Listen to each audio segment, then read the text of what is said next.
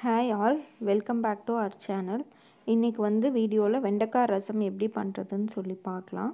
வாங்க வீடியோக்குள்ளே போகலாம் வெண்டைக்காய் ரசத்துக்கு தேவையான பொருட்கள் என்னென்னு இப்போ பார்க்கலாம். வாங்க.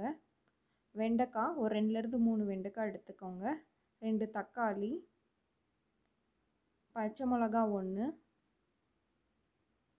வெங்காயம் வந்து தேவைக்கேற்ப எடுத்துக்கோங்க. சின்ன வெங்காயம் பெரிய வெங்காயம் எது வேணாலும் யூஸ் பண்ணிக்கலாம். கருவேப்பில் தாளிக்கிறதுக்கு.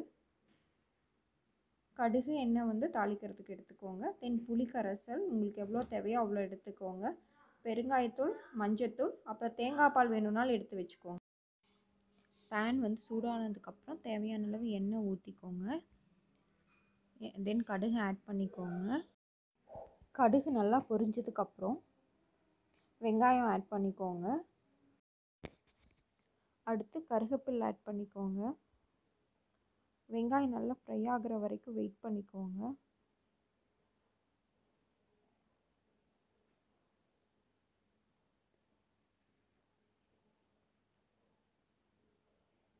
அடுத்து மிளகாய் ஆட் பண்ணிக்கோங்க. நாங்கள் காரம் கொஞ்சம் கம்மியாக சாப்பிட்றதுனால ஒரு மிளகா மட்டும்தான் ஆட் பண்ணியிருக்கோம். நல்லா ஃப்ரை ஆனதுக்கப்புறம் தக்காளி ஆட் பண்ணிக்கோங்க. தக்காளி ஆட் பண்ணிவிட்டு அகைன் நல்லா ஃப்ரை பண்ணிக்கோங்க. தேவையான அளவு உப்பு சேர்த்துக்கோங்க. கொஞ்சம் கம்மியாக சேர்த்துக்கோங்க. அப்புறம் டேஸ்ட் பண்ணிட்டு வேணும்னா ஆட் பண்ணிக்கலாம். தக்காளி நல்லா ஃப்ரை ஆனதுக்கப்புறம் இப்போது வெண்டைக்காய் ஆட் பண்ணிக்கோங்க. இப்போ வந்து செக் பண்ணிக்கலாம். ஓரளவுக்கு ஃப்ரை ஆகிடுச்சு வெண்டைக்காய் வந்து ஒரு ஹாஃப் பாயில் ஆகிற வரைக்கும் ஃப்ரை பண்ணிகிட்டே இருங்க. ஸோ இப்போ புளி கரைசல் ஊற்றிக்கலாம்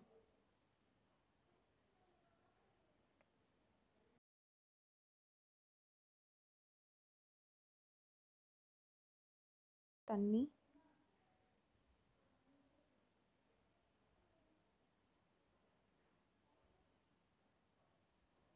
மஞ்சத்தூள். அப்புறம் பெருங்காயத்தூள் ஆட் பண்ணிக்கலாம்.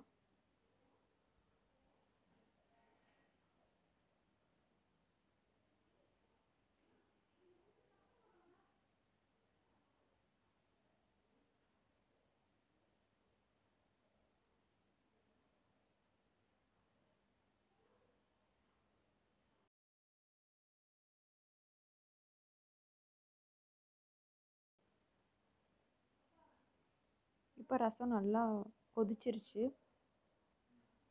ஸோ வெண்டைக்காய் வெந்துருச்சான்னு டேஸ்ட் பண்ணிக்கோங்க. அப்படி வேகலைன்னா இன்னும் கொஞ்சம் நேரம் கொதிக்க விடுங்க வெந்துடும்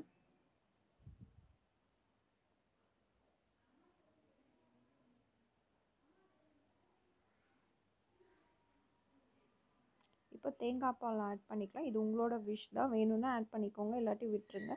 தேங்காய் பாலோட ஃப்ளேவர் நல்லாயிருக்கும் அதனால நாங்கள் ஆட் பண்ணியிருக்கோம். ஆட் பண்ணி கொதிச்சதுக்கப்புறம் ஆஃப் பண்ணிடலாம்.